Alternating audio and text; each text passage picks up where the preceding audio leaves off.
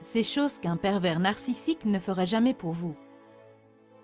Avez-vous déjà croisé un narcissique? En avez-vous déjà côtoyé un de près? Avez-vous déjà été en couple avec l'un de ces personnages? Si la réponse est oui, même à une seule de ces questions, vous avez bien conscience de toutes les horreurs que cela suppose.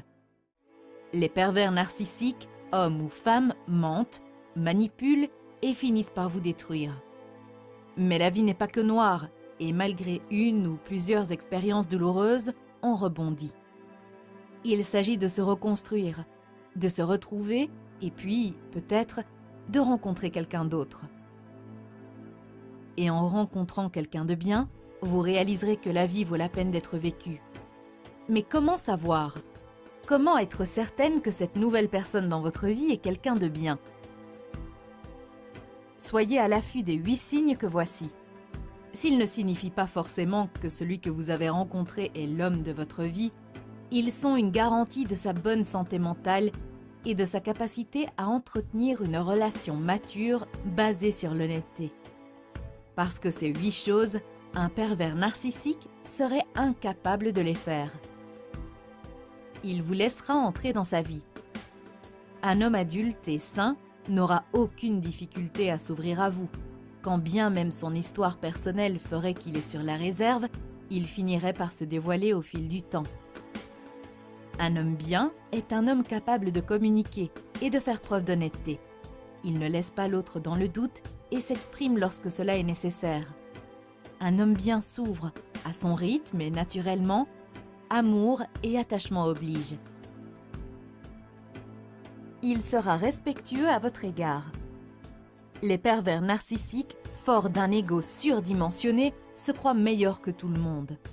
De fait, ils n'ont aucun respect pour les autres.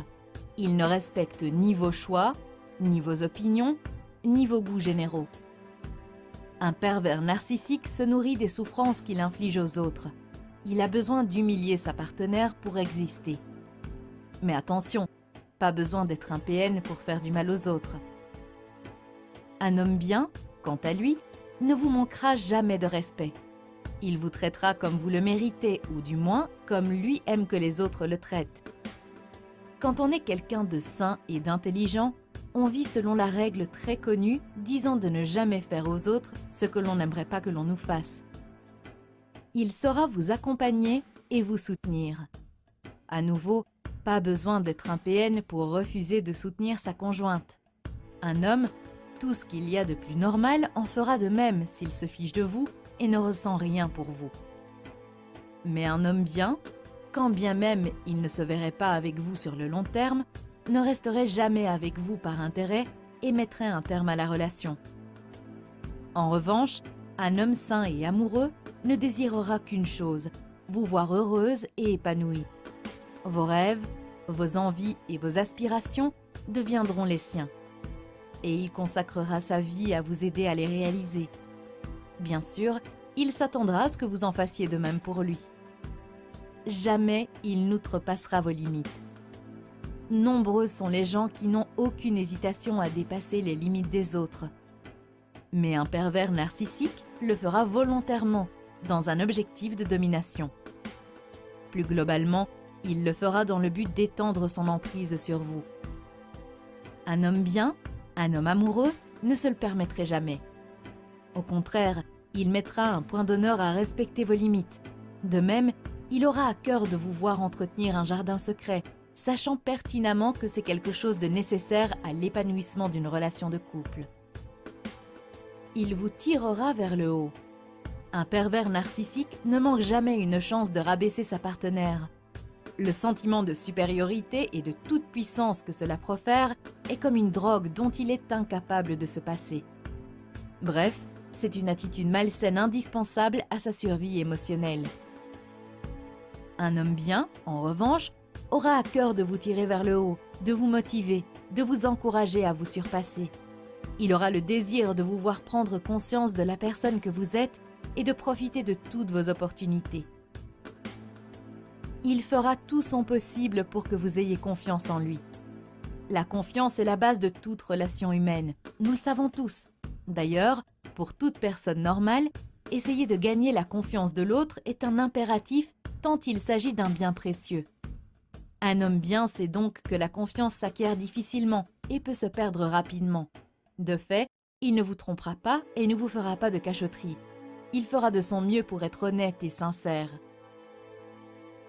Il sera à l'écoute.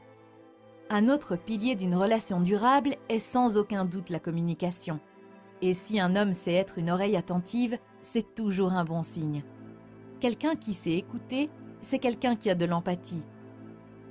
Un homme sincère sera prêt à vous écouter pendant des heures s'il le faut. Et attention, son écoute ne sera pas passive, mais bien active. Plus que de hocher la tête à chacune de vos phrases, il saura aussi vous répondre et vous consoler. À nouveau, amour oblige. Les pervers narcissiques ne s'intéressent jamais à vos mots, à moins qu'ils ne portent sur eux-mêmes. Ils se fichent de vos sentiments, de vos états d'âme et de vos opinions.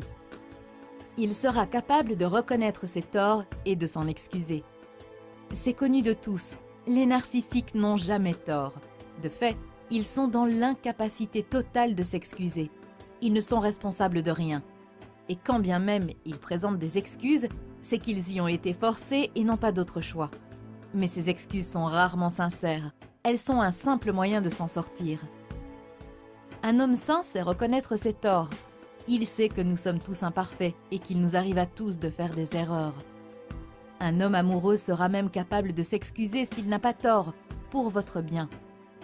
Je sais qu'après avoir vécu avec un narcissique, le simple fait de s'imaginer avec quelqu'un d'autre paraît fantasmagorique. Mais il faut laisser le temps au temps et garder espoir. Surtout, il faut savoir se pardonner et se débarrasser de toute forme de culpabilité. Croyez-moi, viendra le moment où vous serez prête et où vous pourrez envisager une nouvelle relation amoureuse.